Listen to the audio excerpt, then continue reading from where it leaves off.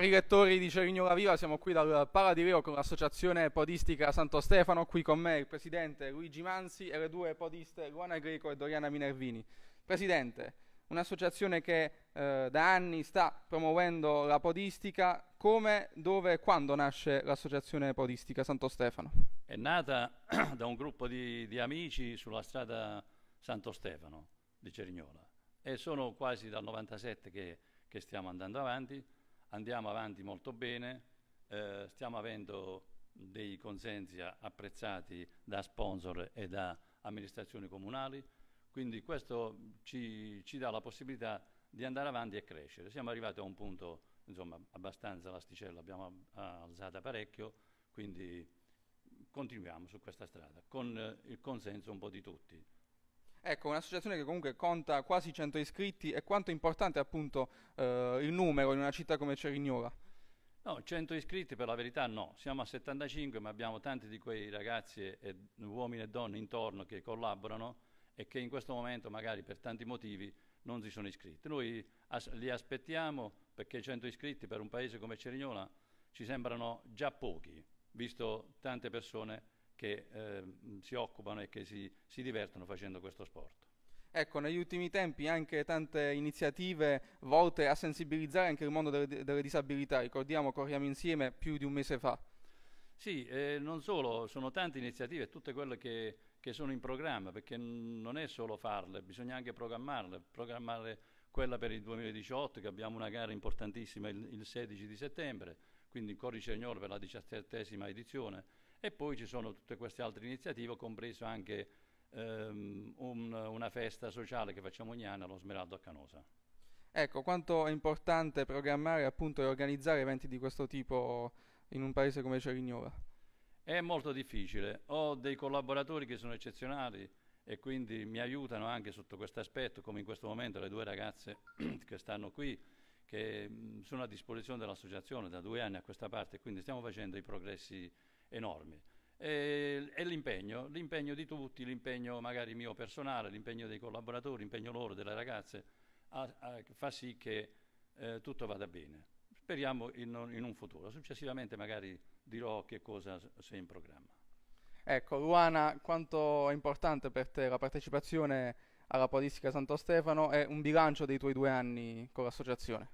A parte che prima che un'associazione è una grande famiglia, questo significa che c'è un clima eh, bellissimo all'interno della nostra associazione e poi eh, tutto ciò che noi facciamo, tutti i vari progetti, tutte le varie, mh, le varie gare, per quanto possano sembrare magari un qualcosa di ehm, non comune, in realtà sono solamente delle, dei modi per vivere bene lo sport. Questo è, diciamo, il, è il, è il messaggio principale che vorrei, che vorrei lanciare, cioè non solo a me come ragazza, magari a tutte le altre ragazze o altri ragazzi che vorrebbero fare questo sport, non è un qualcosa di agonistico, è un qualcosa comunque di amatoriale dove noi comunque ci divertiamo tutte le domeniche, stiamo insieme.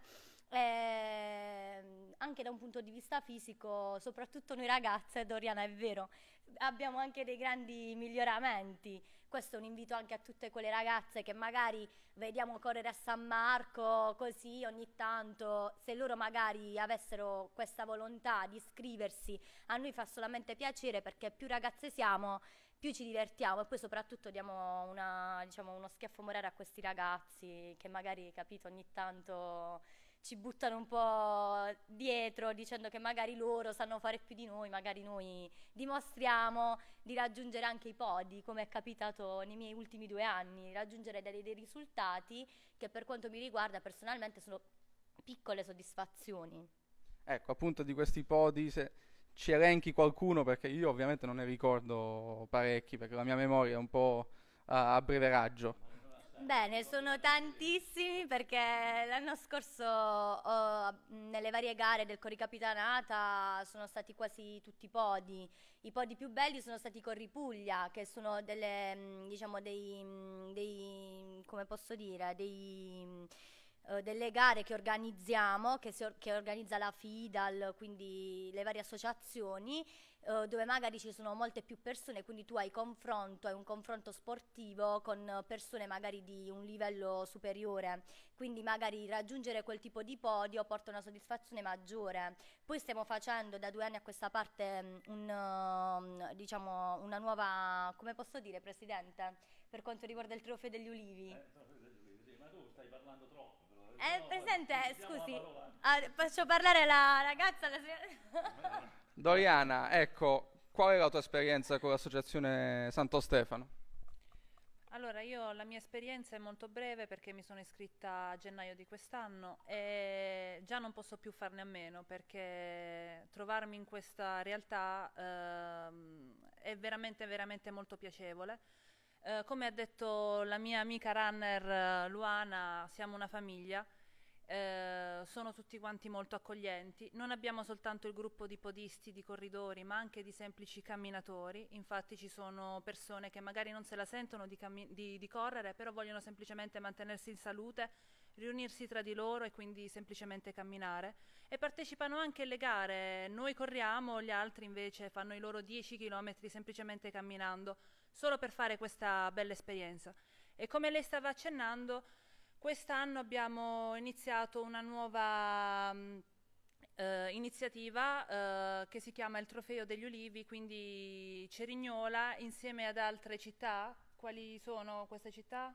Sono 11 insieme ad altre 11 città stiamo mh, partecipando e siamo responsabili di questa, di questa iniziativa, di, questa, di, queste gare che vengono fatte in queste 11 città.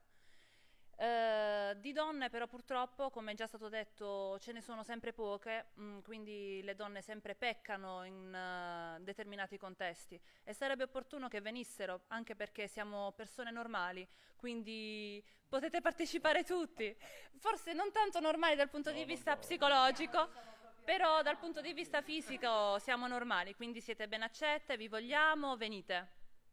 Ecco, quindi Presidente, una bella realtà quella dell'Associazione Santo Stefano che eh, raccoglie consensi anche fuori Cerignola. Adesso i prossimi obiettivi per il futuro. Allora, intanto quest'anno, quest'anno diciamo, dopo le, le, gare, le, gare, la gara che abbiamo fatto e correre insieme, eh, chiudiamo con, iniziativa, con questa iniziativa del 16 settembre, che è una gara a livello regionale, una gara importantissima per, per il nostro Paese, per la nostra, per la nostra società. Per quanto riguarda invece il 2019, con i collaboratori e con l'Assemblea abbiamo deciso 3-4 iniziative, sempre eh, mh, facciamo a gennaio, febbraio un cross in una masseria di Cerignola che dobbiamo ancora diciamo, definire, abbiamo contattato ma dobbiamo ancora definire, una masseria di Cerignola, un cross che parliamo di 4-5 km.